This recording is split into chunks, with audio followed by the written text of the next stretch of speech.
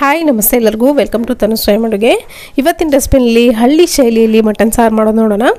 ಇದಕ್ಕೆ ನೋಡಿ ಒಂದು ಕುಕ್ಕರ್ನಲ್ಲಿ ಒಂದು ನಾಲ್ಕು ಟೇಬಲ್ ಸ್ಪೂನ್ ಅಷ್ಟು ಎಣ್ಣೆ ಬಿಸಿ ಇಟ್ಕೊಂಡಿದ್ದೀನಿ.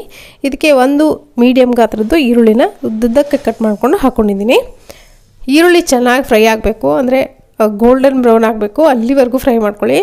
ಅಥವಾ ಟ್ರಾನ್ಸ್ಪರೆಂಟ್ ಆಗೋವರೆಗೂ ಈರುಳ್ಳಿನ ಚೆನ್ನಾಗಿ ಫ್ರೈ ಮಾಡ್ಕೋಬೇಕಾಗತ್ತೆ. ಇದ್ರ ಜೊತೆಗೆ ನೋಡಿ ಒಂದು ಸ್ಪೂನ್ ಆಗುವಷ್ಟು ಶುಂಠಿ ಬೆಳ್ಳುಳ್ಳಿ ಪೇಸ್ಟ್ ಕೂಡ ನಾನು ಇಲ್ಲಿ ಹಾಕ್ಕೊಂಡಿದ್ದೀನಿ ಜಸ್ಟ್ ಒಂದು ಸ್ಪೂನ್ ಹಾಕ್ಕೊಳ್ಳಿ ಜಾಸ್ತಿ ಏನು ಹಾಕೋದು ಬೇಡ. ಸೊ ಶುಂಠಿ ಬೆಳ್ಳುಳ್ಳಿ ಪೇಸ್ಟ್ ಹಾಕಾದ್ಮೇಲೆ ಅದರ ಹಸಿ ವಾಸನೆ ಹೋಗೋವರೆಗೂ ಚೆನ್ನಾಗಿ ಈರುಳ್ಳಿ ಜೊತೆಗೇ ಫ್ರೈ ಮಾಡ್ಕೊಳ್ಳಿ. ಜೊತೆಗೆ ನೋಡಿ, ಒಂದು ಹಿಡಿಯಷ್ಟು ಕೊತ್ತಂಬರಿ ಸೊಪ್ಪನ್ನು ಕೂಡ ನಾನಿಲ್ಲಿ ಎಣ್ಣೆನಲ್ಲೇ ಹಾಕ್ಕೊಂಡು ಫ್ರೈ ಮಾಡ್ಕೊಳ್ತಾ ಇದ್ದೀನಿ. ಇದರಿಂದ ಏನಾಗುತ್ತೆ, ಚೆನ್ನಾಗಿ ಸಾಂಬಾರು ಟೇಸ್ಟ್ ಏನಿದೆ ನೋಡಿ, ತುಂಬ ಚೆನ್ನಾಗಿ ಬರುತ್ತೆ. ಚೆನ್ನಾಗಿ ಫ್ರೈ ಮಾಡ್ಕೊಂಡಾದ್ಮೇಲೆ ನೋಡಿ, ಒಂದು ಅರ್ಧ ಕೆ ಜಿಯಷ್ಟು ಮಟನ್ ಇದೆ ಮಟನ್ನ ಹಾಕ್ಕೊಂಡು ಕ್ಲೀನಾಗಿ ಮಿಕ್ಸ್ ಮಾಡ್ಕೊಳ್ಳಿ. ಈ ಥರ ಮಿಕ್ಸ್ ಮಾಡ್ಕೊಳ್ತಾ ಮೀಡಿಯಮ್ ಫ್ಲೇಮ್ ಇಟ್ಕೊಂಡು ಚೆನ್ನಾಗಿ ಮಟನನ್ನು ಫ್ರೈ ಮಾಡ್ಕೊಳ್ಳಿ. ಮೇಲ್ಗಡೆ ಇರೋಂಥ ಒಂದು ಲೇಯರ್ ಏನಿದೆ ಚೆನ್ನಾಗಿ ಬೇಯಬೇಕು. ಇವಾಗ ನೋಡಿ ರುಚಿಗೆ ಬೇಯಬೇಕಾದಷ್ಟು ಉಪ್ಪು ಹಾಗೆ ಅರಿಶಿನ ಪುಡಿ ಹಾಕ್ಕೊಂಡಿದ್ದೀನಿ ಜೊತೆಗೆ ಅರ್ಧದಷ್ಟು ನಿಂಬೆಹಣ್ಣನ್ನು ಕೂಡ ನಾನಿಲ್ಲಿ ಹಾಕ್ಕೊಳ್ತಾ ಇದ್ದೀನಿ. ನಿಂಬೆಹಣ್ಣನ್ನು ಹಾಕೋದ್ರಿಂದ ಸ್ವಲ್ಪ ಚೆನ್ನಾಗಿ ಬೇಯುತ್ತೆ ಮಟನ್ನು ನಮ್ಮ ಕಡೆ ಎಲ್ಲ ಇದೇ ಥರ ಮಾಡೋದು. ಸೊ ನಿಂಬೆಹಣ್ಣು ಹಾಕಾದ್ಮೇಲೆ ಚೆನ್ನಾಗಿ ಒಂದ್ಸರಿ ಮಿಕ್ಸ್ ಮಾಡ್ಕೊಳ್ತಾ ಫ್ರೈ ಮಾಡ್ಕೊಂಡಾದಮೇಲೆ ಎಷ್ಟು ಬೇಕೋ ಅಷ್ಟು ನೀರನ್ನು ಸೇರಿಸ್ಕೊಂಡು ನನ್ನಲ್ಲಿ ಅರ್ಧ ಕೆ ಜಿಯಷ್ಟು ಮಟನ್ ಇದೆ. ಇದಕ್ಕೆ ಒಂದು ಎರಡು ಗ್ಲಾಸ್ ಅಷ್ಟು ನೀರನ್ನು ಸೇರಿಸ್ಕೊಳ್ತಾ ಇದ್ದೀನಿ. ಮಟನ್ ಹೇಗಿದೆ ಅನ್ನೋದ್ರ ಮೇಲೆ ನೀರು ಹಾಕೋದು ಡಿಪೆಂಡ್ ಆಗುತ್ತೆ. ಸೊ ನೋಡಿ ಒಂದೆರಡು ಕಪ್ ಆಗೋಷ್ಟು ಅಥವಾ ಎರಡು ಗ್ಲಾಸ್ ಆಗೋಷ್ಟು ನೀರು ಹಾಕ್ಕೊಂಡು ಮುಚ್ಚಳ ಮುಚ್ಚಿ ಇದನ್ನು ಐದರಿಂದ ಆರು ವಿಜಲ್ ಕೂಗಿಸ್ಕೊಳ್ತೀನಿ. ಅಷ್ಟರೊಳಗೆ ಒಂದು ಮಸಾಲೆ ರೆಡಿ ಮಾಡ್ಕೊಳ್ಳೋಣ. ಇದಂತೂ ಆಥೆಂಟಿಕ್ ಮಸಾಲೆ. ಒಂದು ನಾಲ್ಕು ಲವಂಗ, ಒಂದು ಅರ್ಧ ಟೀ ಸ್ಪೂನಷ್ಟು ಮೆಣಸು ಚಕ್ಕೆ ಹಾಗೆ ಎರಡು ಲವಂಗ ಹಾಕ್ಕೊಂಡಿದ್ದೀನಿ ಹಾಗೆಯೇ ಒಂದು ಸ್ಪೂನ್ ಆಗೋಷ್ಟು ಧನಿಯಾ ಧನಿಯಾ ಬೀಜ ಹಾಕ್ಕೊಂಡಿದ್ದೀನಿ ಇದನ್ನೆಲ್ಲದನ್ನು ಡ್ರೈ ರೋಸ್ಟ್ ಮಾಡ್ಕೋಬೇಕು. ಕ್ಲೀನಾಗಿ ಫ್ರೈ ಆದಮೇಲೆ ಇದಕ್ಕೇನೆ ನೋಡಿ ಒಂದು ಎರಡರಿಂದ ಮೂರು ಟೇಬಲ್ ಸ್ಪೂನ್ ಆಗೋಷ್ಟು ಒಣ ಕೊಬ್ಬರಿ ಇದು. ಹಸಿ ತೆಂಗಿನಕಾಯಿನ ಯಾವುದೇ ಕಾರಣಕ್ಕೂ ಬಳಸಬೇಡಿ. ಚೆನ್ನಾಗಿ ಬರಲ್ಲ ಸಾಂಬಾರು. ಹಸಿ ತೆಂಗಿನಕಾಯಿನ ಬಳಸೋದ್ರಿಂದ ಒಣ ಕೊಬ್ಬರಿನ ಬಳಸಿ ಯಾವುದೇ ನಾನ್ ವೆಜ್ ಐಟಮ್ಸ್ಗಳಾಗಲಿ ಒಣ ಕೊಬ್ಬರಿಯನ್ನು ಬಳಸಿದ್ರೆ ಟೇಸ್ಟ್ ಸ್ವಲ್ಪ ಡಿಫ್ರೆಂಟಾಗಿ ಚೆನ್ನಾಗಿ ಬರುತ್ತೆ. ಇವಾಗ ನೋಡಿ ಮಿಕ್ಸರ್ ಜಾರ್ಗೆ ಟ್ರಾನ್ಸ್ಫರ್ ಮಾಡ್ಕೊಂಡಿದ್ದೀನಿ. ಎಲ್ಲವನ್ನು ಕ್ಲೀನಾಗಿ ಫ್ರೈ ಮಾಡಿಕೊಂಡು ಸ್ವಲ್ಪ ಕಲರ್ ಚೇಂಜ್ ಆಗೋವರೆಗೂ ಫ್ರೈ ಮಾಡ್ಕೋಬೇಕು. ಇವಾಗ ಒಂದು ಗೆಡ್ಡೆ ಬೆಳ್ಳುಳ್ಳಿ ಹಾಗೆ ಒಂದು ಅರ್ಧ ಇಂಚಿನಷ್ಟು ಶುಂಠಿ ಹಾಕ್ಕೊಂಡು ಇದನ್ನು ರುಬ್ಕೊಂಡು ಬರ್ತೀನಿ. ಇವಾಗ ನೋಡಿ, ಈ ಥರ ನುಣ್ಣಿಗೆ ರುಬ್ಕೊಂಡು ಬಂದಿದ್ದೀನಿ.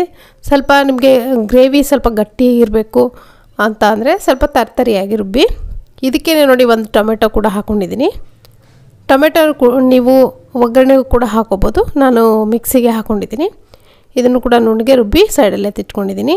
ಇವಾಗ ನೋಡಿ ಮಟನ್ನು ಒಂದು ಐದು ವಿಷಲ್ ಕೂಗಾಗಿದೆ, ತೆಗೆದು ನೋಡ್ತಾ ಇದ್ದೀನಿ. ಚೆನ್ನಾಗಿ ಬೆಂದಿರುತ್ತೆ. ಒಂದು ವೇಳೆ ಚೆನ್ನಾಗಿ ಬೆಂದಿಲ್ಲ ಅಂದರೆ ಮತ್ತೆ ಕುಕ್ಕರ್ ಮುಚ್ಚಳ ಮುಚ್ಚಿ ಒಂದೆರಡು ವಿಷಲ್ನ ಮತ್ತೆ ಕೂಗಿಸ್ಕೊಂಡ್ರೆ ಆಯಿತು. ಈಗ ನೋಡಿ ಒಂದ್ಸರಿ ಚೆಕ್ ಮಾಡ್ಕೊಂಡು ಆದಮೇಲೆ ಮಸಾಲೆ ಸೇರಿಸ್ಕೊಳ್ಬೇಕು.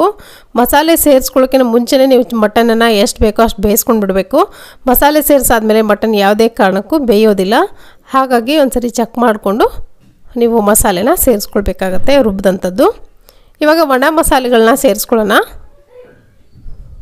ಸೊ ಇದಕ್ಕೆ ನಾನಿಲ್ಲಿ ಒಂದು ಎರಡು ಟೇಬಲ್ ಸ್ಪೂನ್ ಆಗೋಷ್ಟು ಅಚ್ಚ ಖಾರದ ಪುಡಿ ಹಾಕ್ಕೊಂಡಿದ್ದೀನಿ ನಿಮ್ಮ ಖಾರಕ್ಕೆ ಅನುಗುಣವಾಗಿ ನೀವು ಎಷ್ಟು ಬೇಕೋ ಅಷ್ಟು ಹಾಕೋಬೋದು. ಒಂದು ಟೀ ಸ್ಪೂನಷ್ಟು ಧನಿಯಾ ಪುಡಿ, ಹಾಗೆ ಒಂದು ಸ್ಪೂನಷ್ಟು ಗರಂ ಮಸಾಲ ಹಾಕ್ಕೊಂಡಿದ್ದೀನಿ ಮಸಾಲೆ ಜಾಸ್ತಿ ಹಾಕ್ಕೊಳ್ತಾ ಇಲ್ಲ, ಯಾಕಂದರೆ ರುಬ್ಬಕ್ಕೆ ಎಲ್ಲವನ್ನು ಹಾಕ್ಕೊಂಡಾಗಿದೆ ಆಲ್ರೆಡಿ ಜಾಸ್ತಿ ಮಸಾಲೆ ಆದರೂ ಕೂಡ ತಿನ್ನೋಕ್ಕೆ ಚೆನ್ನಾಗಾಗಲ್ಲ. ಇಷ್ಟೇ ಮೈಲ್ಡ್ ಮಸಾಲೆಯಿಂದ ಮಾಡ್ತಾರೆ ಹಳ್ಳಿಗಳ ಕಡೆ ಎಲ್ಲ. ತುಂಬ ಚೆನ್ನಾಗಾಗತ್ತೆ ಟೇಸ್ಟು ಬೇರೆ ಯಾವುದೇ ಮೇಲ್ಗಡೆ ಮಸಾಲೆ ಹಾಕಲ್ಲ. ಅದಕ್ಕೋಸ್ಕರ ಅಷ್ಟು ಚೆನ್ನಾಗಾಗುತ್ತೆ ಟೇಸ್ಟು ಇವಾಗ ನೋಡಿ ಅಂತ ಮಸಾಲೆನ ಕೂಡ ನಾನು ಇಲ್ಲಿ ಹಾಕ್ಕೊಂಡು ನೀರನ್ನು ಸ್ವಲ್ಪ ಜಾಸ್ತಿ ಹಾಕೋಬೇಕಾಗುತ್ತೆ ಯಾಕಂದರೆ ಹಳ್ಳಿಗಳ ಕಡೆ ಎಲ್ಲ ಏನು ಮಾಡ್ತಾರೆ, ಅನ್ನ ರೊಟ್ಟಿ, ಚಪಾತಿ, ಮುದ್ದೆ ಎಲ್ಲದಕ್ಕೂ ಆಗೋ ಥರ ತೆಳುವಾಗಿ ಮಾಡ್ಕೊಳ್ತಾರೆ ಸಾಂಬಾರನ್ನು. ತುಂಬ ಟೇಸ್ಟಿಯಾಗುತ್ತೆ ನಾನು ಒಂದೆರಡು ಪೀಸ್ ಟೊಮೆಟೊ ಕೂಡ ಹಾಕ್ಕೊಂಡಿದ್ದೀನಿ ಆಪ್ಷನಲ್ ಇದ್ದರೆ ಹಾಕ್ಕೊಳ್ಳಿ ಇವಾಗ ನೋಡಿ ನೀರನ್ನ ಈ ಥರ ಸ್ವಲ್ಪ ಕಡಿಮೆನೇ ಹಾಕ್ಕೊಂಡಿದ್ದೀನಿ ನಾನು ಸ್ವಲ್ಪ ಸೆಮಿ ಗ್ರೇವಿ ಥರ ಮಾಡ್ಕೊಂಡಿದ್ದೀನಿ. ಸ್ವಲ್ಪ ಜಾಸ್ತಿ ನೀರು ಹಾಕಿ ತೆಳುವಾಗಿ ಸಾಂಬಾರು ಥರ ಮಾಡ್ಕೊಂಡ್ರಂತೂ ಇದು ಟೇಸ್ಟ್ ತುಂಬ ಚೆನ್ನಾಗಾಗುತ್ತೆ. ಇವಾಗ ನೋಡಿ ಸ್ವಲ್ಪ ಕುದಿ ಬಂದಿದೆ. ಸ್ವಲ್ಪ ಕೊತ್ತಂಬರಿ ಸೊಪ್ಪನ್ನು ಹಾಕ್ಕೊಂಡು ಕ್ಲೀನಾಗಿ ಒಂದ್ಸರಿ ಮಿಕ್ಸ್ ಮಾಡ್ಕೊಳ್ಳಿ.